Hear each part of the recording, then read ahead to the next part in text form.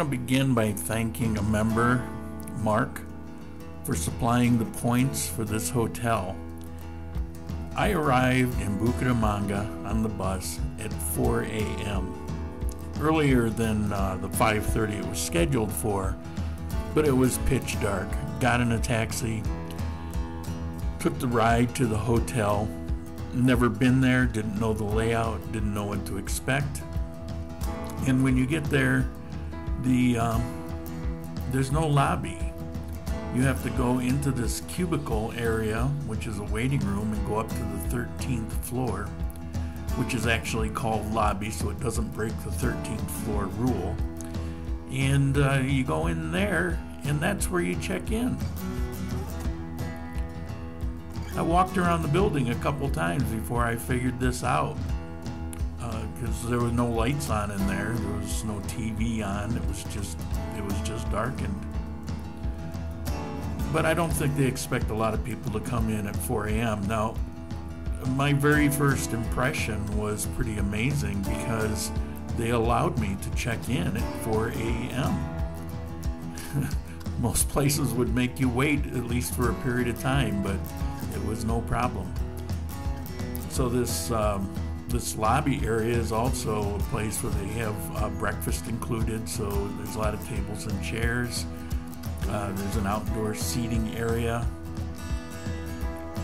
And COVID alters it somewhat. You have to wear a mask, uh, except you know until you sit down to eat. And instead of having a buffet that you go up and make your own waffles, etc.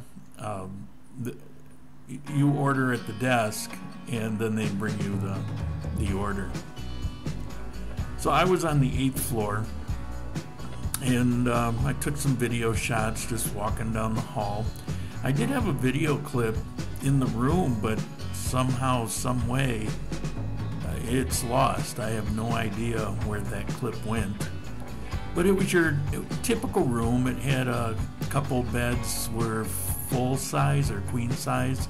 I'm not sure which. I'm guessing full size, bigger than single. And, um, you know, a desk area, had a little refrigerator in there. You, you know, it's your typical nice hotel room. I will say that the bedding and the mattress was amazing. It was sleeping on a cloud. So every morning I would get up around 6 o'clock, do a little work on videos from the day before, and then I would go down and have breakfast, uh, typically 7, 7.30, maybe 8 o'clock. But the view in this hotel was just spectacular. It was like um, staying in a drone. You could see the most prominent buildings in Bucaramanga, which there were plenty of.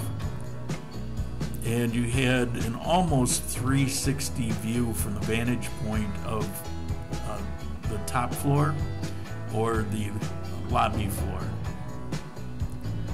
So I would have my breakfast and sit there and contemplate the day and shuffle through messages and answer emails before I would head out to explore. There's some pretty amazing buildings, as I mentioned, and I will be doing an entire episode on the buildings of Bucaramanga. Uh, some are of note. They're some of the tallest buildings in South America, as a matter of fact. That double tower you see in the background on the left, the tallest one, is the tallest building in Bucaramanga. The hotel is located right next to a, a park. Um, that was uh, Pio, Pio Park. And it's it was a pretty good size, uh, just a very relaxing stroll through nature sort of park.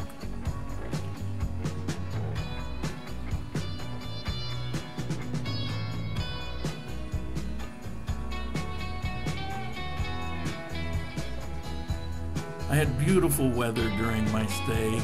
The very last day, it rained as I was getting ready to go to the bus station, so I didn't care. But it was uh, sunny with white puffy clouds, and it was just spectacular. The evenings were the same. Uh, one day it got a little uh, warm for my taste, but I was out walking around in the direct sunlight. The rest of the time it was pretty comfortable, and evenings I would say were somewhat cool. Not cool like I gotta go grab a jacket, although if you're a 80 pound girl, you probably want to get a jacket. But if you got some meat on your bones, then it was pretty comfortable. The climate was nice. It was a touch warmer than um, here in Armenia, but it had a decent breeze and um, rather pleasant. And on the very top floor of the building, they have jacuzzi, a gymnasium, uh, eating area. Plays. Um, they were playing actually American music, although I asked if they get many uh, Americans there, and some not too. Most of the uh, tourists coming through are from Colombia or other places in South America. Now, Bucaramanga is the richest city in all of Colombia. I think it's important to to realize that it has the lowest unemployment rate and the highest GDP per person than uh, anywhere else in Colombia.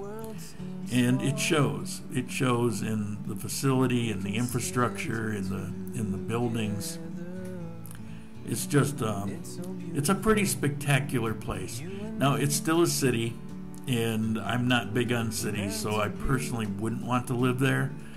But I would think this would be a fantastic option for people that want to live a really good life with a cost of living less than places like Bogota and Medellin, uh, something similar to Manizales, maybe a touch more.